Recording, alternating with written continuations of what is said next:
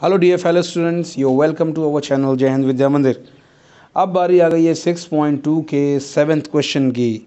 और ध्यान रहे, ये बहुत इंपॉर्टेंट क्वेश्चन है, बहुत ही ज़्यादा इंपॉर्टेंट क्वेश्चन अक्सर बार एग्ज़ाम्स वगैरह में पूछा भी जाता है। तो चलिए देखिए रीड कर लेते हैं। आप अपनी बुक में रीड कर लीजिए मेरे साथ में कि यूजिंग थ्योरम 6.1 यानी कौन सी थ्योरम यूज़ करनी है? 6.1 प्रूव दैट अ लाइन अच्छा मैं अभी थोड़ी देर पहले आपसे डिस्कस कर रहा था, देखिए।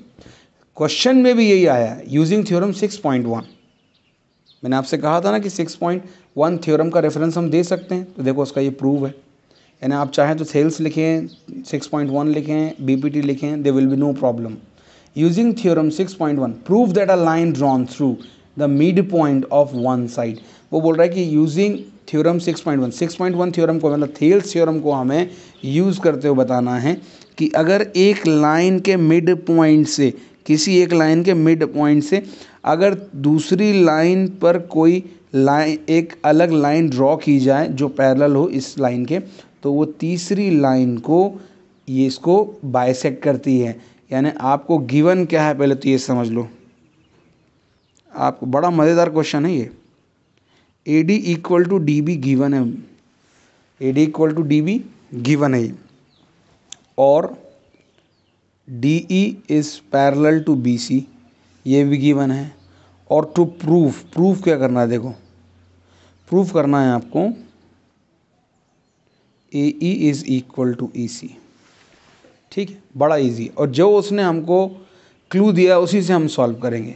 अब उसने क्या बोला? By using by six point one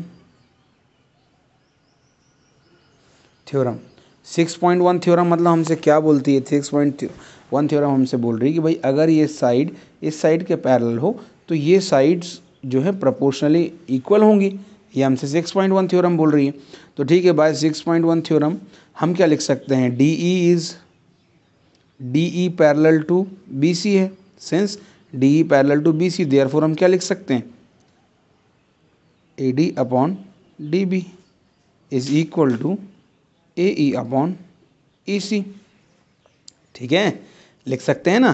कैसे लिखा अपन ने? Using six point one theorem ठीक है। अब मुझे बताओ, क्या मैं इसको ऐसा नहीं लिख सकता?